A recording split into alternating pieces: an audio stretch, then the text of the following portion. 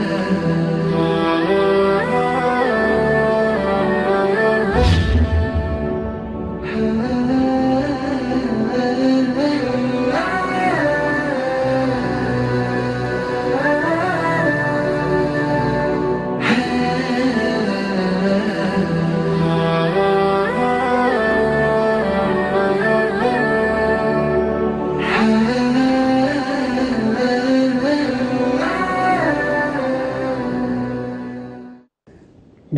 الرحمن الرحيم والصلاة والسلام على أشرف الأنبياء والمرسلين سيدنا محمد النبي الأمين وعلى آله وصحبه أجمعين.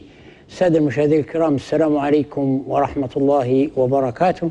نواصل حديثنا عن مذبحة القرن مذبحة أبو سليم والتي راح ضحيتها أكثر من 1200 مواطن من أفضل آه، الناس الوطنيين المخلصين الملتزمين بكتاب الله وسنة رسوله. دون محاكمة دون تهمة آه، ودون مبرر.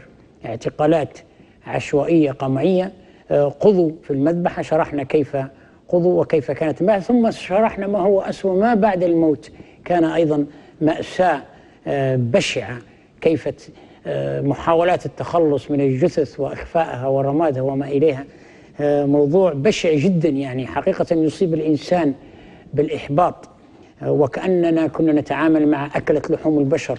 وليسوا مع آه، بشر.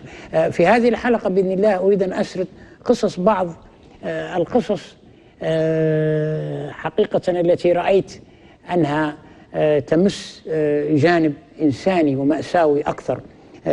هذه القصص حدثت ما قبل المذبحة ففي هناك في إحدى الزنازير في أحد الأيام توفي أحد السجناء توفي أحد الضحايا من المرض. فكان التخبيط على الباب ممنوع ممنوع. فبالتالي اضطروا الرجل آه، توفى يعني. اضطروا أن يخبطوا على الباب فجاء غاضب السجان آه، فقالوا له إن في إنسان مات. قال بيغسلوه خلاص. غسلوه وبعدين طرقوا مرة أخرى على أبوابهم جاهم آه، قالوا له غسلناه خذاه وحطه في الممر بين الزنازين وقع بقى هناك من ثلاث ليالي ليلتين إلى ثلاث ليالي موجود قبل لا يأخذوه ويشيلوه ويدفنوه. فمأساة لا احترام لا للحي ولا للميت.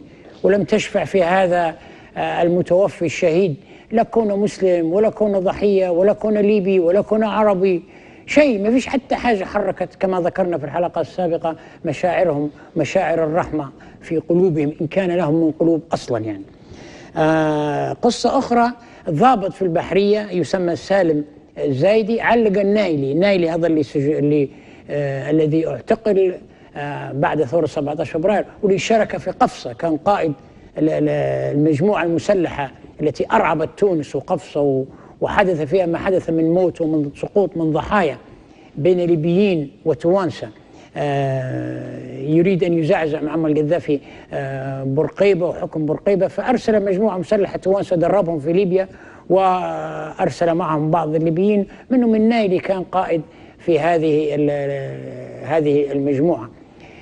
آه نالي أعتقل بعد ثورة 17 فبراير وأطلق السراحة آه أعتقل أطلق السراحة وأعتقل مرة أخرى. وجد يقاتل بعد ما أطلق سراحه المرة الأولى كان يقاتل في الثوار. شكل كتيبة وسلاح مسكوه في الجنوب آه يقاتل. أعتقل في مصراته وأطلق سراحه هذا الرجل النايلي له يد أيضا حتى في أبو سليم. آه، مرة أخرى سالم الزايدي ضابط من البحرية النايلي هذا مكتفة ومعلقة في برا برا من الزنازين في الساحة اللي يطلعوا فيها اللارية ولا اسمه. معلقة آه، من يديه وخلاه ثاني يوم ثاني يوم جاء النايلي فقالوا للحراس الراجل اللي أمس علقته سالم الزايدي ضابط في البحرية مات. مات يعني قالوا له يعني فمشاه هو ضابط ثاني النايلي هذا الضابط الآخر آه يسمى آه الضابط آه الطيب اسمه الأول الطيب تقريبا ضابط في الأمن الداخلي كان يعذب ويحقق حتى هو مع محمد بن نايل. أنا كنت أشير إليه النايلي محمد بن نايل ماشي. فخشوا بعد ما قالوا له الضابط مات بدل ما يقول خذوه وغسلوه ودفنوه على طول. مشاه من الخبر للمكتب سجل السجن واخذوا corrector وال whiting المبيض هذا وغطوا به اسمه وألغوا اسمه من السجل بكل آه، بساطة. آه، شطبوا أسمى من سجل اسم سالم آه، الزايدي. شاب آخر شهيد آخر اسمه الشلفيط مصاب بالآزمة وكان الحراس يحرقوا في حطبه في نار قريبا من الزنزانة بتاعه فبدأ الشباب يقولوا يا أخي عندنا واحد اختنق عنده آزمة لو سمحتوا يعني يحرقوا كانوا في كناس وفي حطب وفي عالم غادي. فقالوا يعني هذا قد يموت يعني عند الأزمة لو سمحتم تتوقفوا عن حرق البقايا ولا شيء. يقول باهي مش مشكلة لما يموت غير قولوا لنا بس. أمس لما يموت قولوا لنا فعلا توفى الرجل توفى بالأزمة قولوا لهم فالإنسان غادي آه، يشبه إلى أي قطعة من كرسي طاولة طرف لوحة كرمكم الله آه، بلوكة أي حاجة. لا يساوي شيء عندهم. هو حكم بالإعدام طويل المدى كان. حكم بالإعدام موت البطيء داخل آه، السجون. من الألفاظ من الألفاظ الناس القائمة على السجن ولا واحد يقول لما يموت قولوه واحد يقول مات مش حول اسمه من السجل آه، فواحد يتوفى خليه يقعد يوم يومين في ممر يا راجل. مغسل إنسان مسلم ميت وإكرام الميت دفنة. قصة أخرى محمد الفورتية 75 سنة. إنسان عمره 75 سنة. أصيب أكرمكم الله في احتباس بالبول. احتباس بالبول راجل شباني 75 عام صار له احتباس في البول. هذا أمر لا ي... لا لا لا يحتمل التأجيل ولا يحتمل الانتظار. ألم ومعاناة. وخطر أيضا خطر التسمم وخطر ما قد يترتب على مثل هذه الأمراض. فالشباب في زنزانة كانوا ينادوا في الحراس يا أخي هذا الرجل آه عنده احتباس لو سمحتوا يعني. شايب يومين ثلاثة يومين ثلاثة ينادوا فيهم ما يجوش بعدين جو خذوه آه، بعد يعني آه، فوات الاوان ممكن قعد ساعتين في المستشفى وتوفى بعدها توفى في المستشفى. اثنين من أبناء هذا الرجل محمد الفرتية اثنين من ابنائه وولد أخته آه، سجناء معهم. تصور أنت في سجن ومعك اثنين من أبنائك وقريبك ومش عارف إيش. يعني نحن عندنا حتى لما يجوا ضيوف مرات في المربوعة الابن ولا هني ما يقعدش مع أبوه. احتراما وتكبيرا وتقدير الوالد وإعطاء له حرية الوالد في بيتهم يعني. في المربوعة نفسها الشباب يطلعوا ما يقعدوش مع أبوهم وكذا. فما بالك في السجن عاد في سجن وما يحدث فيه من قهر وذل ومعاناة وتعذيب. آه فطلع أحد ابنائه طلع وأيضا آه، ولد أخته ولد أخته وأحد أبناء آه، المرحوم محمد الفورتيه خرجوا وأحد ابنائه قتل في المذبحه وهو مات في المستشفى. معاناة هذه أسرة واحدة يا أخي تخيلوا تخيلوا حجم المعاناة والألم وحجم الذل والقهر. ومواطن ليبي ولا شيء حتى تهمته يعني آه تهم لم أصلا يقدم المحكمة حتى نعرفوا ما هي التهم. مجرد أنك أنت تصلي وملتزم هني آه خلاص راحت فيها. آه قصة أخرى عائلة التايب من مصرات عائلة التايب. يعني في بنية طفلة صغيرة العيت الضراط. ماتوا لها بوها وعمها وستة من خوالها في المذبح أبوها وعمها وستة من خوالها ستة هذوم أبناء آه التايب من مدينة آه مصراتة آه محمد أبو سدرة يعني سجن عشرين سنة سجن مع أخوه الطاهر. أخوه آدم أخوه خير الله أخوه صالح. من أسرة واحدة في السجن. في الشهيد يوسف يوسف غويلة. يوسف غويلة قتل في المذبح وترك أربع أطفال. واحدة من بنية عمرها 40 يوم. بنية لما خش السجن كان عمرها 40 يوم. شنو هي التهمة؟ شنو هي التهمة بتاع يوسف غويلة؟ هذا الرجل الله سبحانه وتعالى فتح عليه موسع عليه ماديا فكان شو يدير؟ يشوف في أسر الضحايا. أسر الضحايا الدنيا هذه اللي في السجن ال 1200 هذوم يعني ثلاث أرباعهم أو على الأقل نصهم آه أرباب عائلات. هم الوحيدين العائل الوحيد للعائلة اللي يخدم عليه فتركوا ناس تركوا نساء وتركوا أطفال أغلبهم آه، من يعولهم يعني؟ آه، بعد الله سبحانه وتعالى يسخر لهم فيها الناس الطيبة كيف يوسف غويلة على سبيل المثال. آه، رجل تاجر يبيع في العطور. العطور اللي فيهاش الكحول هذه. حتى الزاد ما جاه يشيل فيه الحبس ويقول لا, لا, لا تبيع في عطور زندقة عطور الزنادقة. فهذا الرجل بما وسع عليه الله يعطي في فلوس ويساعد في الأسر اللي مسجونين آه، ذويهم مسجونين. اليتامى في العيد الأضحى يجيب لهم خروف يجيب لي بعض العائلات في العيد في ملابس يعطي أحيانا بعض الطعام. الرجل يعني ربي كارمه بهالعمل. نحن الواحد ما يطلعش من جيبه 5 جنيه 10 جنيه هنين آه، بالحباب والكباب. فرجل يصرف يعطي يعطي ما شاء الله ويساعد في الأرامل والفقراء والمساكين لأزواجهم وأطفالهم. مسجونين مش عارفين هم وين حيين ميتين هني. فهذه قصة أخرى مؤثرة جدا. جاء الصدمة ومسكة وقال له أنت تبيع في عطور الزندقة وسجن مسكين ومات في في المذبحة. مات في المذبحة وخذوا دكانه وسرقوا فلوسه. يعني شوف الدولة سرقت أموالها خشت الدكان وأخذت العطور وأخذت الفلوس استخدموهن وعد. آه سيدة أخرى عزوز تعرفوها قصة الطعام طبعا والملابس النساء اللي آه، فلذات أكباد الميتين خمس وست وسبع سنين يجيبوا في طعام ويجيبوا في أكل ويجيبوا في ملابس. وهم ميتين هم ميتين مساكين. ف آه، آه، إحدى السيدات والطعام يأكلوا فيه يا رجل. يأكلوا فيه وفقر على فكرة. يعني أغلب العائلات عائلهم في السجون فلا عليش ما يتحصلوا على الطعام ولا يتحصلوا على شيء آه، لأبنائهم أو ملابس أو معجون أو أدوات نظافة إلا بالحباب والكباب والتسليف والهني. فجاءت سيدة تحب على يد حارس جايبت له فاصوليا وصاخنة. فاصوليا وصاخنة تقول له الله يرحم والديك وكان نلقاها توصل لوليدي صاخنة تربع هو متوفي مسكين هو متوفي ولدها مقتول في المد... الله يرحم بيك نبيك بس توصلها لابني آه وهي ساخنة وقالت له والله العظيم حق الحمات هذين مسلفتين تسليف يا وليدي تربح أعطيه الله. قام يأكلوا فين؟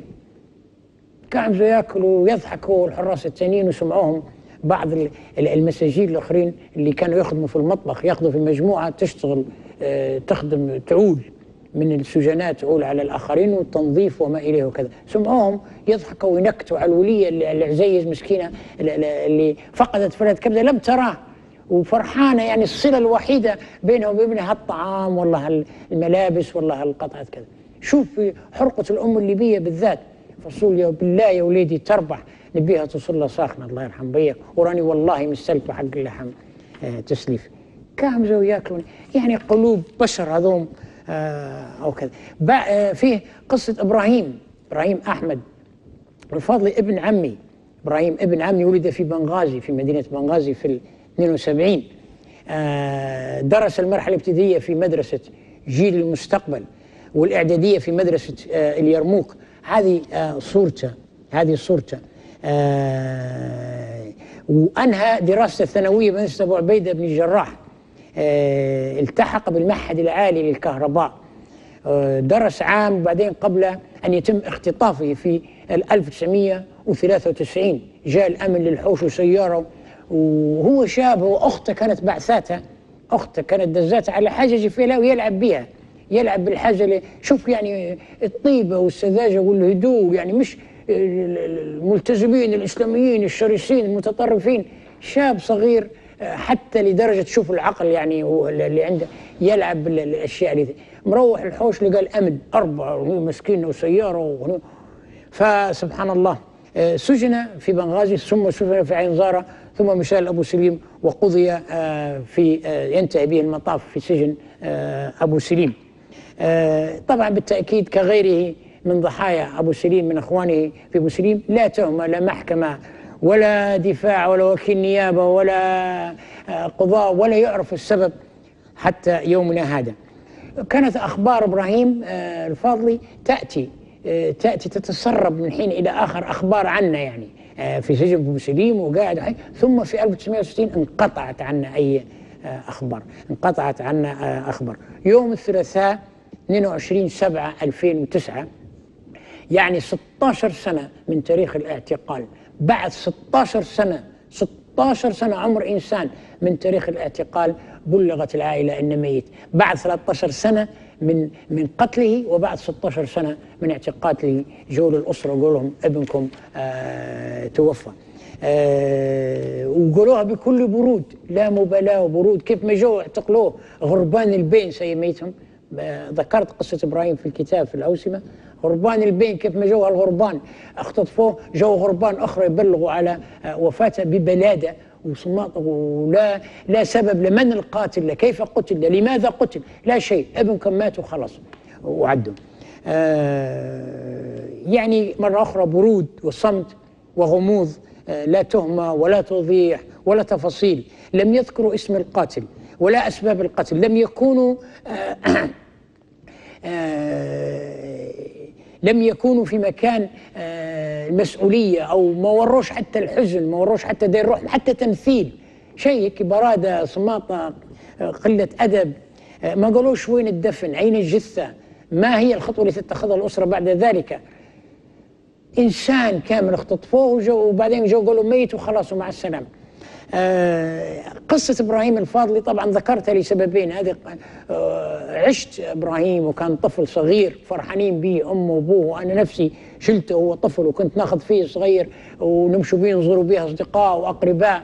وأهله وأمه وأبوه فرحانين به يعني أضاف سعادة وبهجة آه إلى البيت والى حياة الأسرة، عندهم أولاد وعندهم بنات آخرين، بس كان حضور إبراهيم في لحظات الشايب والعزيز يعني فرحه جدا جدا. وأضاف إلى البيت سعادة وبهجة ومرة أخرى أكرر حدثت لكل الضحايا، الأم يعني تعاني بش في الحمل عند يجيب ابنها وبعدين هو من أول يوم إلى أن يكبر وهي تعاني فيه ذمرض وتهتم به وتوكل فيه وتشرف فيه وتعلم فيه الكلام والمشي آه مشى آه وتكلم آه وقال بابا أو قال ماما أو خش للروضة أو خش أو بدا يكتب أو عرف يمسك القلم. تصور حياته حياته حياته وفضل يقضي عليه الشيطان الرجيم أعوذ بالله في دقائق. فألم ألم الأم والأب يتألم. هذا السبب ذكرت القصة حقيقية وواقعية وإبراهيم هذا بيدي ولا لا. الشيء الثاني ذكرتها الوالدين. الوالدين يا سبحان الله الوالد أصيب بالسرطان مسكين. أصيب بالسرطان. أول قبل أن يصاب بالسرطان استغفر الله انجن على ابنه.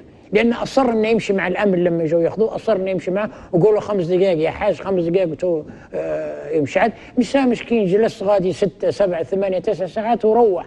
وقول له خلاص خلاص تو يجيك بكرة تو يجيك بعد بكرة. لم يرى. أصيب بسرطان يتألم يتألم. كان آه هجم عليه السرطان. آه حفظكم الله جميعا. هجمة شرسة. آلام يوميا يوميا يعاني من آلام السرطان ومن آلام فقدان ابنه إلى أن توفى الله. ست شهور بس بعد. اعتقال ابنه الوالدة أصيبت بنفس الشيء سبحان الله. الوالدة أصيبت بالسرطان وعانت. بعد سنتين ونص توفت. لم ترى ابنها ولم. أسرة يعني حطمت من جميع الجوانب النفسية والنبدية والألام والأمراض. وحتى الأدوية البسيطة اللي في أفقر دولة في العالم متوفرة للناس اللي يحسوا بالألم من هذا المرض أفقر دولة في العالم عندها بعض العلاجات. هذه الأسرة لم تتلقى حتى العلاج الأساسي البسيط اللي يسكن الألم على الأقل. فكان الناس وصلوا إلى درجة يتمنى الموت للوالد من شدة الألم اللي مر به.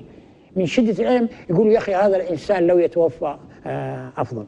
كان والده رجل الله أكبر الله أكبر الله أكبر الله أكبر. أشهد أن لا إله إلا الله. أشهد أن لا إله إلا الله. أشهد أن محمد رسول الله. أشهد أن محمد رسول الله. حي على الصلاة. حي على الصلاة. حي على الفلاح.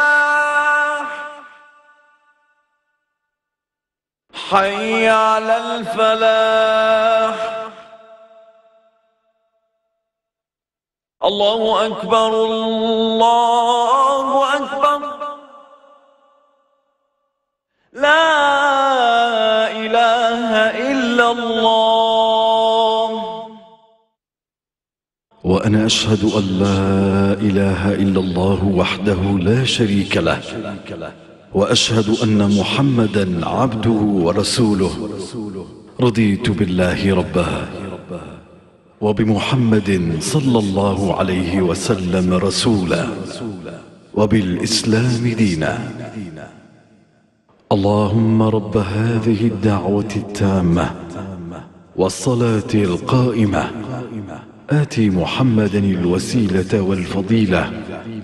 وابعثه مقاما محمودا الذي وعدته. اجتماعي وكان مرح وعلى درجة عالية من الثقافة. عمل كمدرس في مدينة درنا ثم انتقل إلى بنغازي وقعد رئيس مركز آه، مكتبة مكتبة في حي الصابري.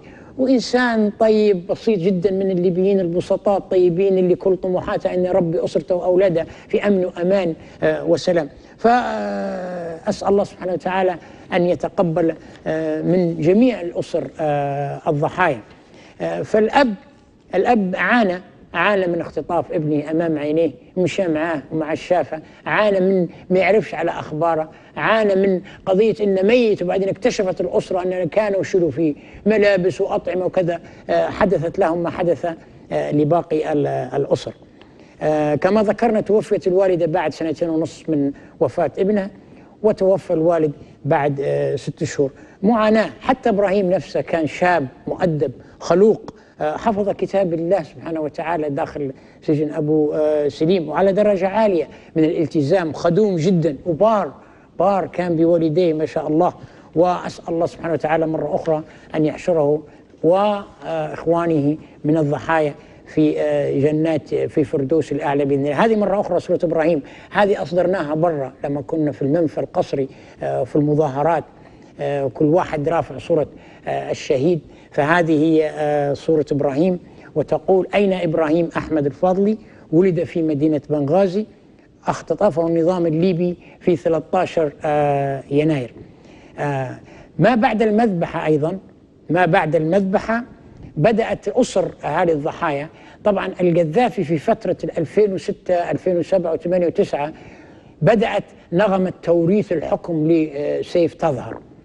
لكن القذافي ما يبيش ابنه يوصل للسلطة لعند ينظف جميع الملفات. الإيدز اللقربي ابو سليم القضايا العالقة الخطيرة التي قد تهدد حكم ابنه بعدين. بدأ فتح الباب في حلحلة جميع هذه القضايا وحلها بأي شكل لتهيئة الأمر آه لسيف.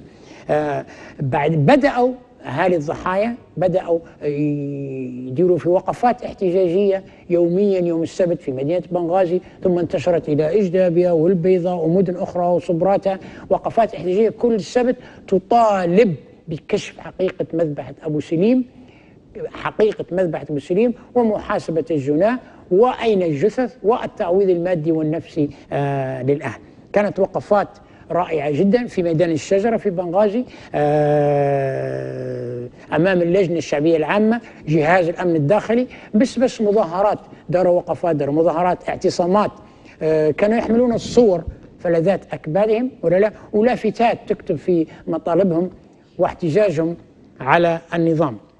آه وظهرت مظاهرات كثيرة داخلية في مدينة جدابية في البيضة وأيضا في الخارج منها في هولندا. في بريطانيا في أمريكا في سويسرا آه، في ألمانيا آه، في آه، مدن كثيرة جدا في ألمانيا مظاهرات واعتصامات كانوا يسووها أهالي ضحايا سليم في الخارج. بدأت القضية تظهر وبدأت تظهر للعالم العربي والعالم الخارجي الأوروبي والعالم بصفة عامة وفي الداخل أيضا.